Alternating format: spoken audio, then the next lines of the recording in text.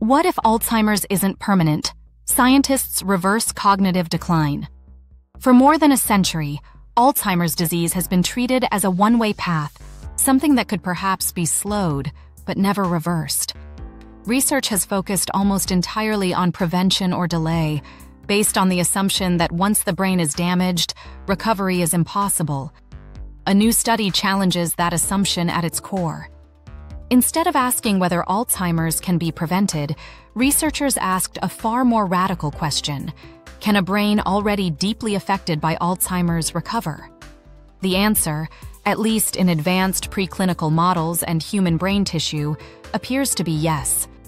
The study identifies a central driver of Alzheimer's pathology a failure to maintain healthy levels of NAD, a molecule essential for cellular energy, repair, and survival. NAD plus naturally declines with age, but the decline is far more severe in Alzheimer's brains, leaving neurons unable to meet their basic energy demands.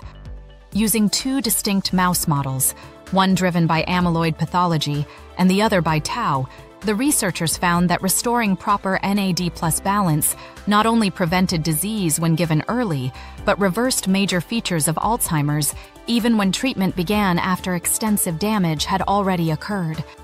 These brains didn't just stabilize, they repaired themselves. Markers of neuroinflammation normalized, blood brain barrier integrity improved, synaptic function recovered, and oxidative damage was reduced. Even hippocampal neurogenesis, the birth of new neurons critical for memory, was restored. Most strikingly, animals with severe cognitive impairment regained full cognitive function. This recovery was also reflected in normalized levels of phosphorylated tau in the blood, a biomarker already used clinically in people, strengthening the evidence that true disease reversal had occurred. This approach does not flood the brain with excessive NAD, which can be dangerous. Instead, it helps cells maintain the correct energy balance under stress, allowing repair without pushing metabolism into harmful territory.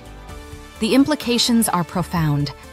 If Alzheimer's is driven in part by a collapse in brain energy metabolism, then restoring that balance may open a path not just to slowing decline, but to recovery itself. The findings suggest that the damaged brain may retain a latent capacity to heal if given the right biological support. This work represents a fundamental shift in how Alzheimer's might be treated in the future, not as an irreversible condition, but as one where repair and regained function may be possible. Human trials will be needed to determine whether these results translate beyond the laboratory. But the message is clear Alzheimer's may not be as permanent as once believed.